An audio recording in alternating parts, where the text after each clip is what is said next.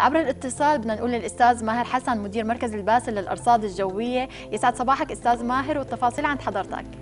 يسعد صباحكم. أهلا وسهلا. أهلا وسهلا فيك. شو حابب نعم. تخبرنا؟ نعم كنا ذكرنا يوم أمس بأن المنخفض فعاليته تبدأ آه، بعد ظهر اليوم أو مساء. آه، وحاليا البلاد تتأثر بمقدمة منخفض جوي يمتد في طبقات الجو كافة. لذلك تنخفض درجات الحرارة إلى أدنى من معدلاتها ويتحول الطقس تدريجيا إلى غائم لتصبح الفرصة مهيئة خلال ساعات بعد الظهر لهطل زخات رعديه متفاوتة الغزارة طبعا يستمر الهطول المطري يكون على فترات يعني تتخللها انقطاعات زمنية حتى يوم الأربعاء. الرياح السطحيه جنوبية غربية بين الخفيفه والمعتدلة والبحر خفيف إلى متوسط ارتفاع الموج.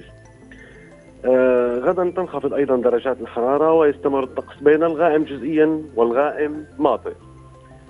آه درجات الحرارة المتوقعة في المنطقة الساحلية عظمى 27 صغرى 15 في المنطقة الجنوبية عظمى عظمى 30 صغرى 17 المنطقة الوسطى عظمى 26 وصغرى 15 المنطقة الشمالية عظمى 26 وصغرى 16 والمنطقة الشرقية عظمى 33 وصغرى 16 يعني إن شاء الله خلال الساعات القادمة راح نلاحظ تغيرات بالطقس ويتحول إلى غائم تدريجيا كما ذكرنا آه، مع فرصة أمطار إن شاء الله.